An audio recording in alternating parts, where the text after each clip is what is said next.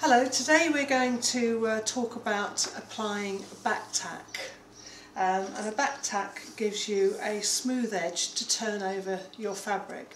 Normally it's used um, on the outside back and outside arms um, of furniture. It can be used along a front edge if you're going to uh, turn a fabric over. You might stop the first fabric you're putting on, pipe it and then uh, pull another piece over that. And the back tack will be used in those instances. Uh, for the purposes today, I've just got a piece of uh, board that we're going to use um, that's been set up so that I can demonstrate more easily how this is to be used. So we'll pretend this piece of board is the outside arm of a chair. For the purposes of this, I've made this into a, a, mini arm, and that would be the inside of my arm, and then this would be the outside edge of my arm. And then I would be applying a piece of fabric that we then need to pull down, and we need it to be fixed underneath the arm there um, in an invisible seam and nice a nice close sharp edge on it. So I'll put it into in place where I want it to sit and you can do this with tacks or you could do it with staples. For this purpose and for speed I'm just doing it um, with staples. And there is a ridge under there.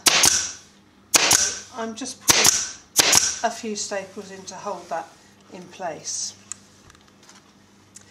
Now there's two types of back tack that I can use. The more traditional is this uh, card, which is um, normally um, a very, very stiff card, sometimes vulcanized card um, that's used there, about half an inch wide.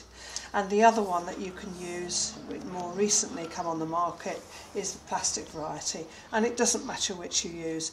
I'll use this one for now because being white you'll be able to see it more clearly um, when I'm applying it.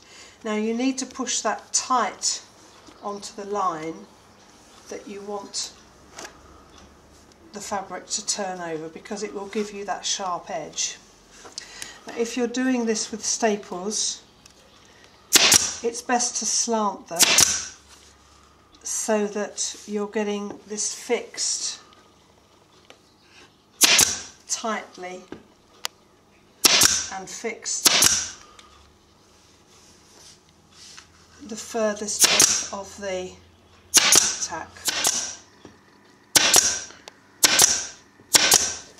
It can be done with tacks, there's nothing to stop this being held on with tacks and you want to tack them probably about half apart.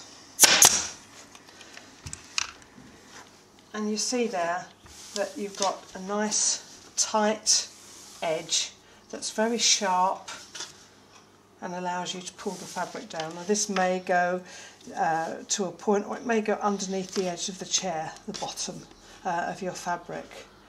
Um, and this side here, which could be the front of your chair, um, will either be slip stitched, which you can see um, on another of our tips, um, to invisibly sew that down, or it could be fixed with another type of uh, metal back tack, which you'll also find uh, in another demo video that we've done.